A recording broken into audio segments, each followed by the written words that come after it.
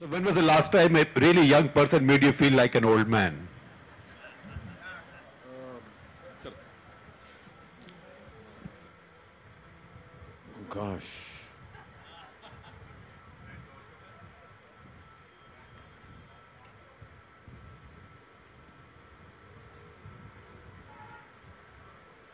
I was shooting for a film on one of the streets in Mumbai some years ago. And uh, somebody came and said, You know, my mother is a great fan of yours, and can she come and meet you? And um, so she was almost an invalid. She was brought on a, on a charpai to the shooting set. And I bent down and I met her. And she must be close to 90 years old. And she said, Beta, मैं बचपन से तुम्हारी तस्वीरें देखते आ रहा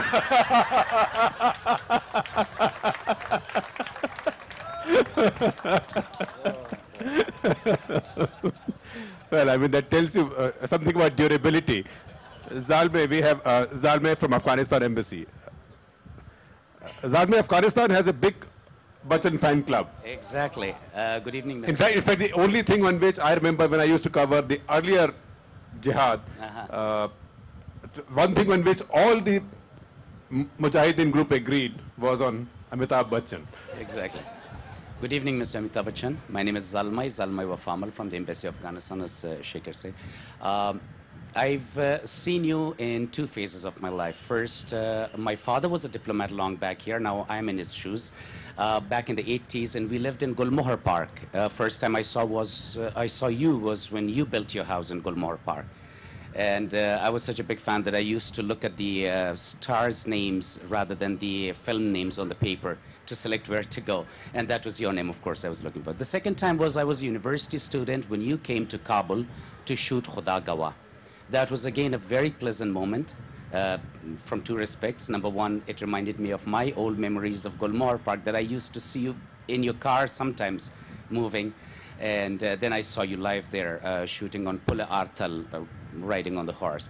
Now, my question is um, how was your experience, your overall experience in Afghanistan, in Kabul, and, and uh, the reaction of the people that you remember? I know, I know, they're all your fans. Uh, even, even the Mujahideen, Shakers are your fans. Uh, how was your overall experience? And uh, then uh, I have a short question, a very short question that would require a yes or a no. First, I'd like to listen to your experience about being an That again will take a very long time, but uh, let me just say it, it was one of my most uh, impressive and fantastic visits uh, to your country. Um, your then president, uh, uh, Dr. Najibullah. uh, Dr. Najibullah, uh, he had been uh, a great fan of Hindi cinema, and I remember that when I had my accident on the sets of Coolie, he was, I think, on a flight uh, to Moscow uh, from Kabul, and he turned back and came back because he wanted to inquire after my health, and I was always very grateful for that. But uh, he had been sending many requests to the, the government of India that if he could ask us to come and shoot there or make a film there. And when we got the opportunity, we actually went there. It was uh, a most amazing experience that I've ever had.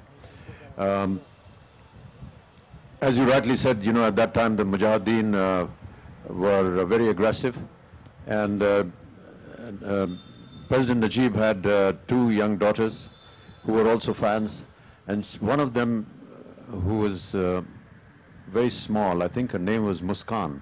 Am I right? Yeah. Muskan, yeah. Yeah. She told her father, you know, Amitabh is coming and what is going to happen? We, the Mujahideen are bombing Kabul. Please tell them not to bomb today.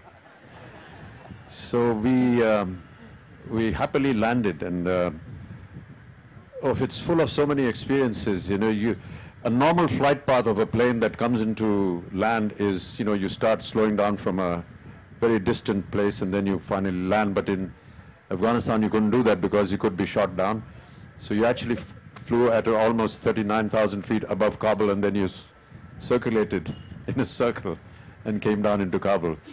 We went to see some warlords who with us in Mazar-e Sharif, which is the place where we were shooting. Uh, and uh, they, the, the experiences that we had on the way, uh, where the where the army was guarding certain places.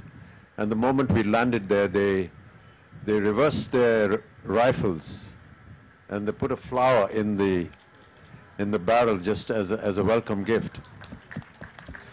But the most amazing experience was when we um, landed in Mazar-e Sharif because that's where we were going to shoot the Buzkashi and everything.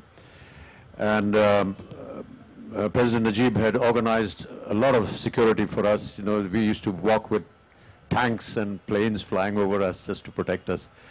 Um, so when we landed in Mazar-e Sharif, uh, we drove into the city, and I found hundreds and hundreds of people on the streets.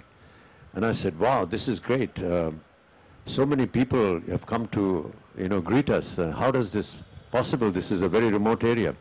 He says, no, we're all fans, but they're not here to come to see you. They are people who have left their homes and have come out on the street to tell you that whichever home you pick to stay in, you are free to do that. So they've all left their homes and come on the street and said, you choose where you want to stay and that home will be yours.